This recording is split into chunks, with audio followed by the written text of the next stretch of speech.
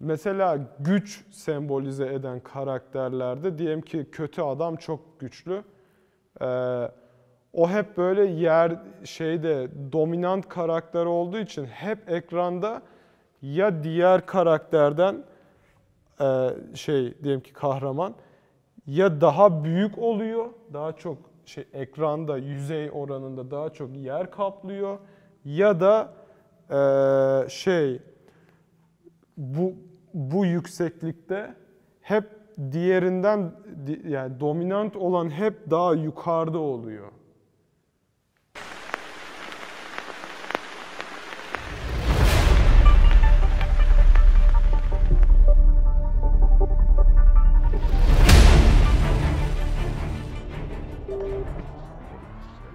Ee, karakteri dizayn ederken yeşil seçmelerinin bile amacı olmuş olabilir. Yani gözlerine baktığın zaman her zaman bir e, şey ışık var. Yani yeni şeydir. Yeşilin anlamı e, ya böyle doğa, can, renk, e, fresh, e, fresh, taze, yenilenmeye açık, bahara açık. Ya şey daha çok doğa tonlarında yeşil olduğu için karakteri dizayn ederken gözlerini yeşil seçmelerinin sebebi o olabilir. Yani her zaman gözüne baktığımız zaman karakterin bir e, o olduğundan daha iyi olabileceğine inanmamız için olabilir.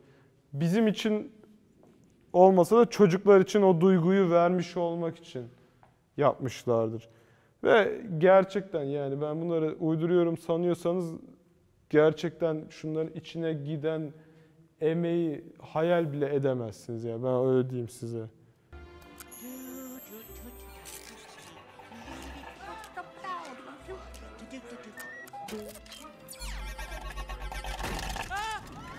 Böylece iyi bir ders almış oldum. İyiler daima övülüp pohpohlanırken kötüler bir köşede sessizliğe Karakter aldı onu arkaya koydu. Bunun ötesinde bir şeyden bahsetmem lazım gene. Blocking. Karakterler arasındaki ilişki. Bu karakter oraya gitti ve geri geldi. Kendini e, şeyde kadrajda büyüttü. Şimdi hangisi daha önemli duruyor burada? Yani daha otoriter bu olduğu için yani ekranda daha çok yer kapladığı için. Yani e, ben buradaki her şeyden daha önemli duruyorum kamera için. Çünkü ben ekranda daha çok yer kaplıyorum. Bu bu kadar basit. Yani sen gidip de birisinin önünde durup gidip arkadakiyle konuşmazsın. Mantıklı mı? Gidip şey e, önemli olan şeyi önüne alırsın. Yani yer daha çok kaplar. Bunu başka şekilde de kullanabiliyorsun. Mesela güç sembolize eden karakterlerde diyelim ki kötü adam çok güçlü. Ee, o hep böyle yer şeyde dominant karakter olduğu için hep ekranda ya diğer karakterden e, şey diyelim ki kahraman ya daha büyük oluyor, daha çok şey ekranda yüzey oranında daha çok yer kaplıyor ya da e, şey bu bu yükseklikte hep diğerinden di- yani dominant olan hep daha yukarıda oluyor. Bana ekrana girme dediler ama ben bayağı ekranın içine girip girip çıkıyorum.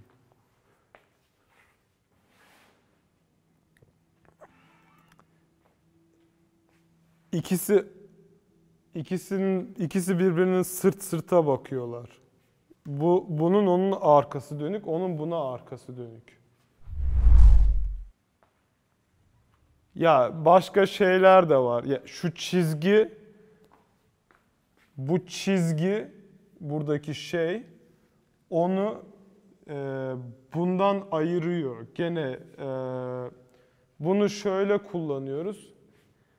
Kare kare buna şey deniyor. Frame in the frame. Şey çerçeve içinde çerçeve. Bu şöyle bir şey. E, bu ve bun ya şöyle e, iki karakter düşünelim. Eee diyelim ki birisi şu bunu görür mü kamera? Diyelim ki şu çerçeve ya ben bir karakter burada duruyor. Durdu mu? Şu şunun içinde miyim? Neyin içindeyim? Biraz daha geri. Hangisinin içindeyim oğlum? Sen hangisini gör? İşte orada kare var ya. eee, şimdi ben bir karenin içindeyim yani. Şeyin içinde.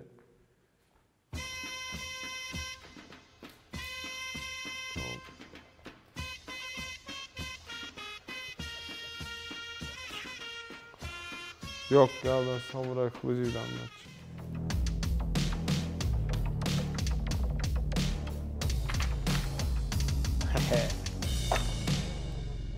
Şimdi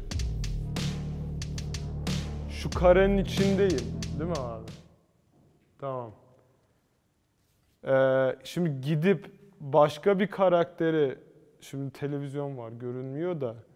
İki şeyle bir şeyle ayırdığın zaman karakterleri bir çizgiyle, mümkünse duvar.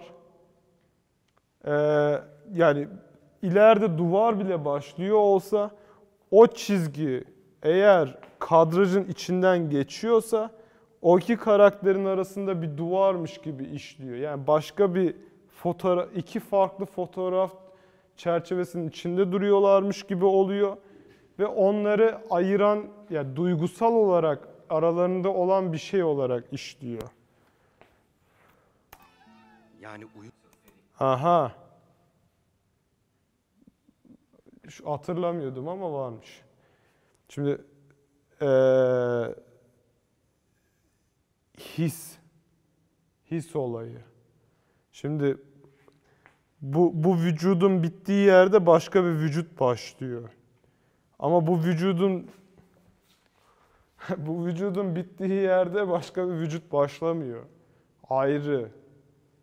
Gene ya ebeveynlerin kafası çok önemli değil. Onların ne düşündüğü gene umurumuzda değil. Ba- Başka bir şey edebi anlam bu da çok yapılıyor. Kafayı kesiyorsun. Onlar bedeni daha önemli şeyden, düşüncelerinden. Kafasını gösterseydin onun fikri ve şeyi daha önemli olurdu. Bu bu durumda değil. Önemli olan bu kısım ve onun varlığı yetiyor yani.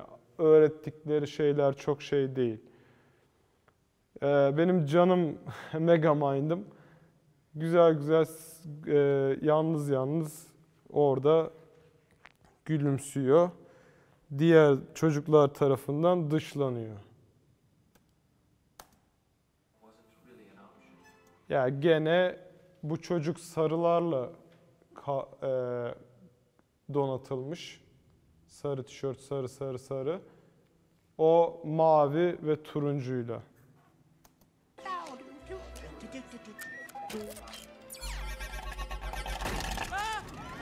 böylece iyi bir ders almış oldum. İyiler daima övülüp pohpohlanırken kötüler bir köşede sessizliğe mahkum ediliyordu. Yani uyum sağlamak gibi bir seçeneğim yoktu. Onlar güzel bir okul şarkısı öğrenirken ben Sakatı istediğim seçiyorlar, zaman onu canlıları seçmiyorlar. katılaştırıp sonra yine sıvılaştırmayı öğreniyordum. Arka fon ne renk? Bazen Kırmızı. sanki bütün dünyaya karşı Öfke. yalnızca minyon ve ben var. Hırs. Ne kadar çabalarsam çabalayayım. ben hep Attıkları tuhaf top olan kırmızı ama zaten bu, bu oyunda hep kırmızı. çürük Onu elma, çok şey yapmıyorum. ezik, Kara koyundum. Kötü çocuktum.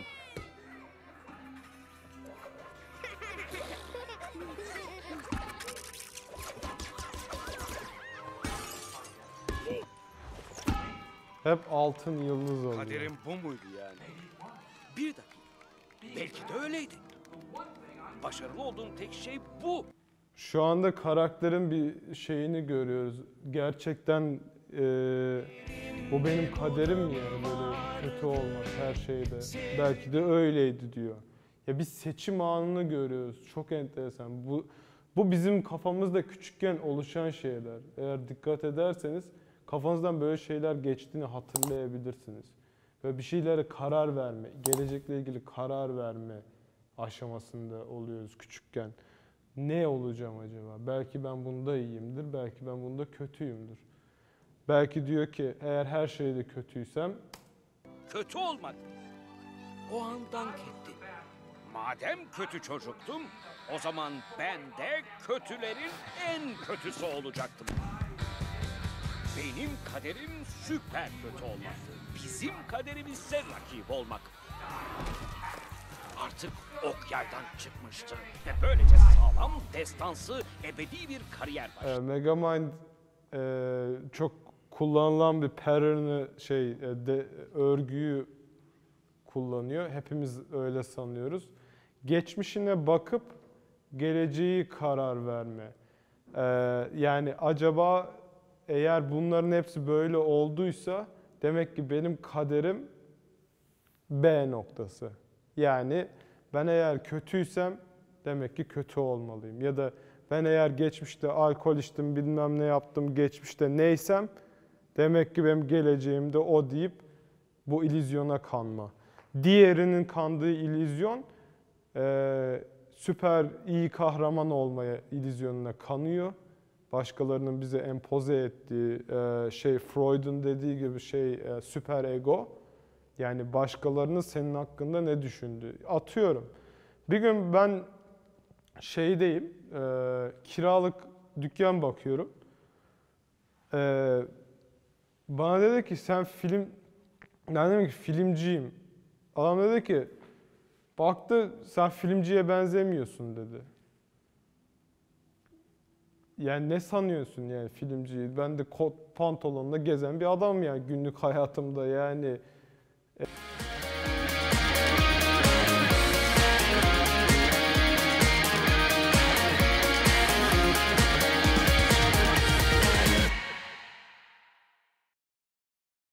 Bu süper egoya giriyor. Yani toplumun şartladığı ya da toplumun senden beklentileri. Ee, bu konuda da şey e, gene ego oynuyor da şey geçmişe bakıp geleceğe karar verme. Nitekim o o fikirle oynuyor şey animasyon sürekli olarak. Hop transition'a bakalım geçişe. Geçiş de harika burada ha. Ee, geçişleri geçişlerin ne kadar önemli olduğunu bir filmin bir filmin seyircisinin sevmesiyle sevmemesi arasındaki şeyi karar veren şey olduğunu düşünüyorum. Bu bir teori. Ama ne zaman insanların çok tuttuğu filmler olsa transition'a özellikle gidip bakıyorum ya sahneler arası geçişlere bam bam bam bam bam değil. Geyik değil yani öyle tak tak geçmemişler. Öncesinde sahnelerin arasındaki geçişler öncesinden tasarlanıp karar verilmiş olan şeyler. Buradakini görelim. Mesela Matrix filminde. Matrix filmini bir izleyin. Tamam mı? Artık böyle bir sahneden bir sahneye nasıl geçiyorlar diye kamera girip telefonun içine giriyor. Hop Matrix'ten çık şeyden dışarıdan gerçek dünyadan çıkıyor. Yok işte ya neler neler yapıyor kamera yani say say bitmez. Ben bunu sevdim. Hop gazeteden çıktı. Mücadelemiz hızla daha gösterişli oldu. Bazılarını o kazandı. Şimdi aralarındaki Diğerleri savaşları neredeyse ben görüyoruz. kazanıyorum. Kendine bir isim verdi. Netroman. Matro kentin koruyucusu. Ben daha mütevazı bir isim tercih ettim. Mega zeka, inanılmaz yakışıklı suç dehası ve bütün kötülüklerin efendisi.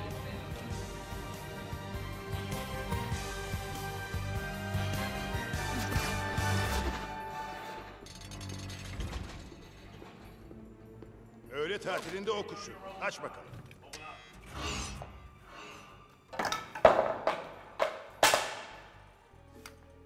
Hey.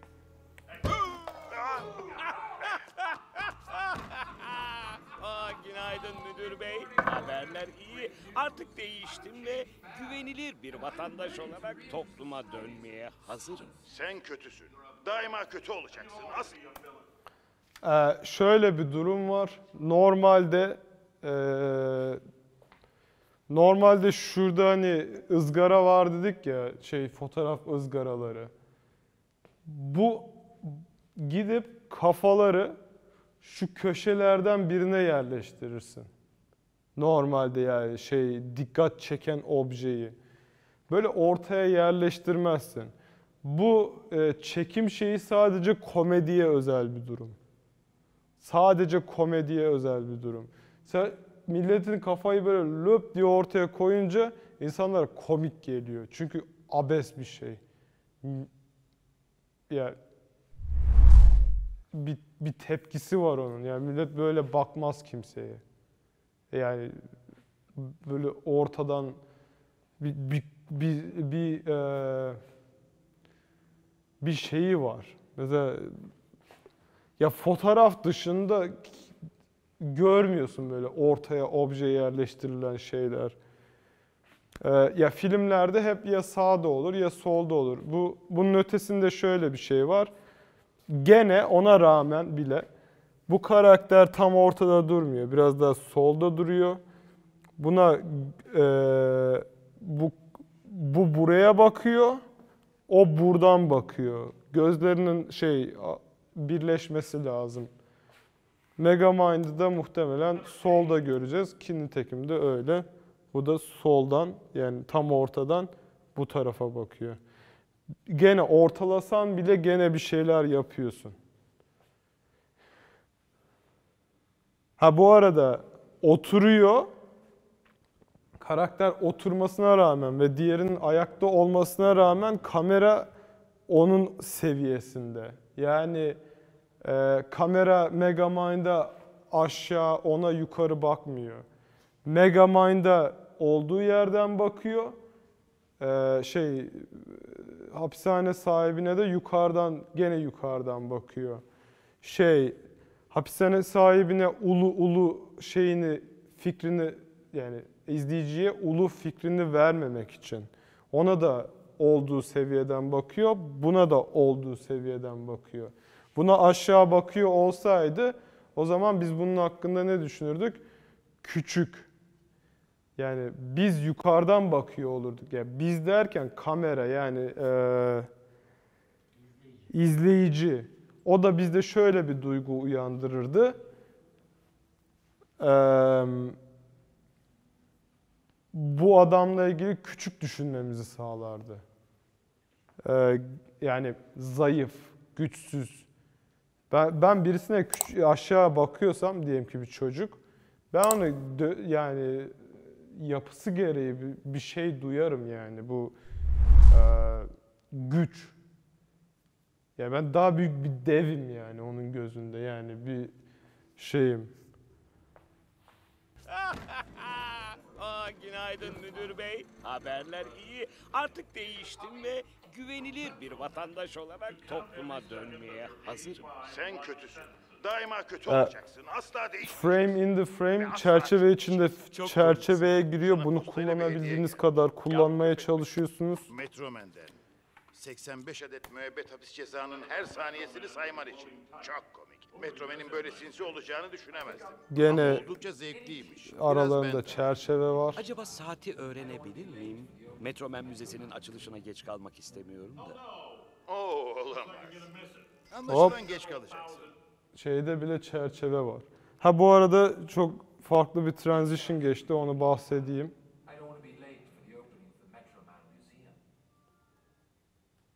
Yuvarlak. Bak ekranda şunu bir düşünün. Yuvarlak.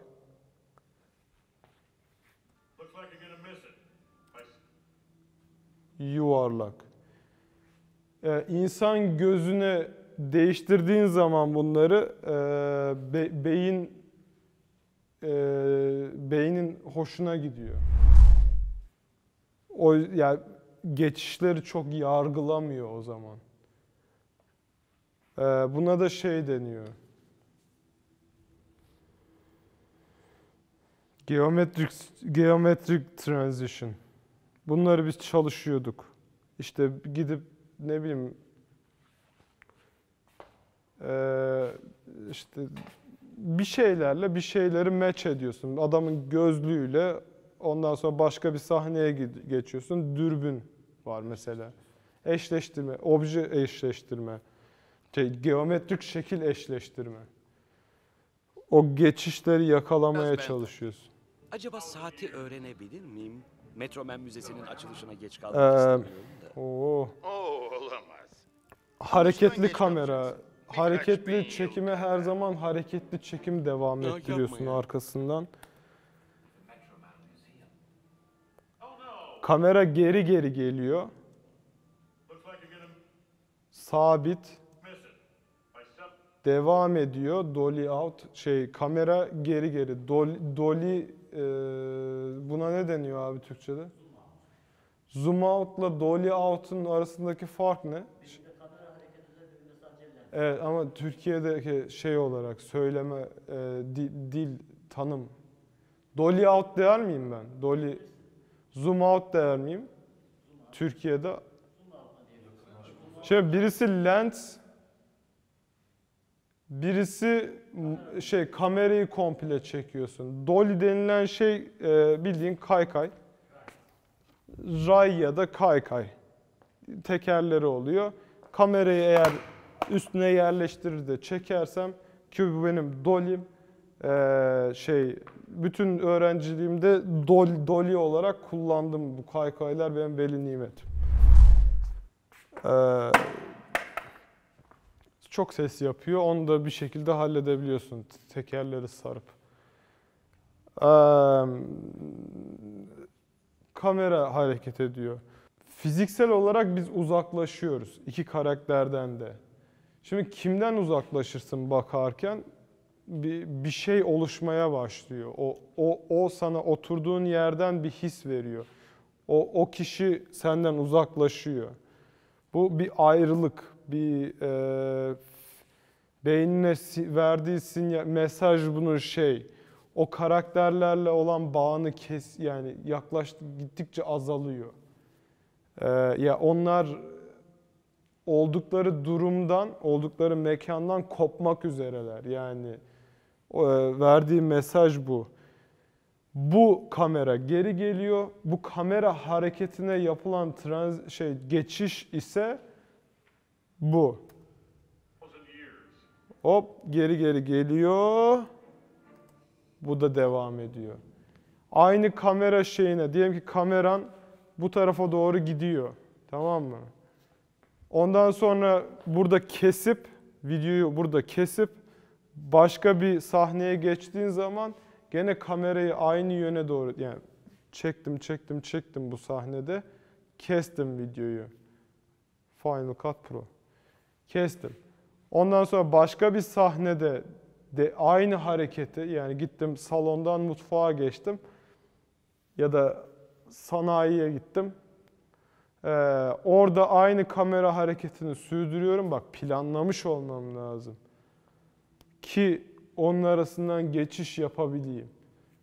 Gerçekten şeyler çok fark ediyor. Bu aynı sahne içinde kullanılıyor.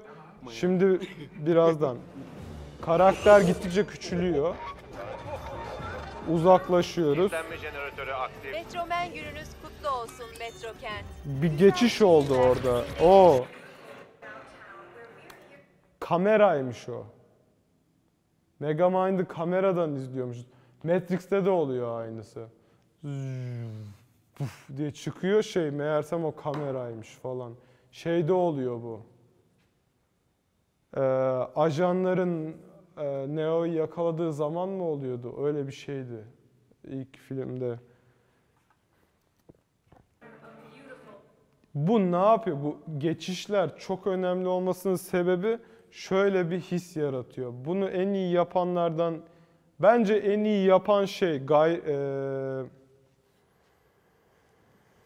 Dur en iyi yapan söyleyeceğim de Steven Spielberg'ü diğerlerinden ayıran özelliklerden biri. Bütün geçişleri adam öncesinden dizayn ediyor.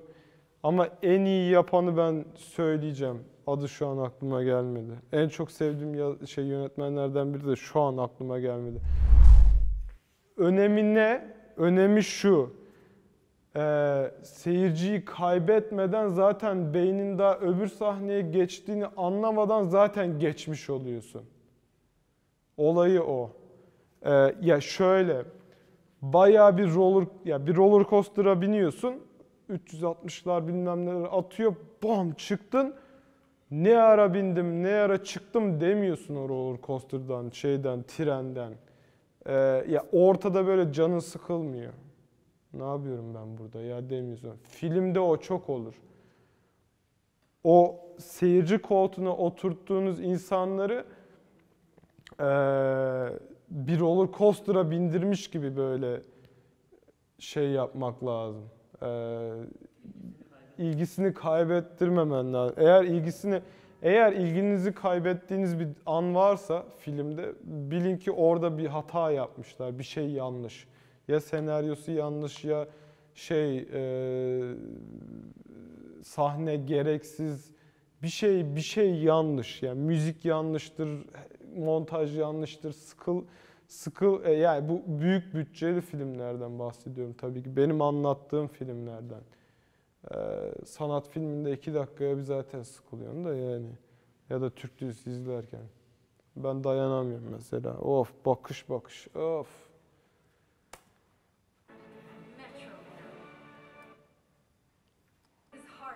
Ha iki saat geçtiğini nasıl anla, anlamaman lazım. Diyeceksin ki "Oğlum ne ara geçti bu iki saat? Ne ara girdik? Ne ara çıktık? Hatta şunu yaptırabiliyorsanız çok iyi. Ki o çok çok çok nadir filmlerde olur. Ee, söylediğiniz söz şu ise bu film asla bitmesin istiyorum. Yani biteceğini hissettiriyorsa size hissediyorsanız ben bu film asla bitmesin istiyorum diyorsanız o daha iyi bir şey. Ya bunu seyircinize yaptırabiliyorsanız ya siz eli öpülecek adamsınız mı diyeyim ne diyeyim ya çok çok çok iyisiniz demektir. Ya sadece siz değil sizin ekibiniz de çok iyi demektir. 24 mü? Son 3. Son 3.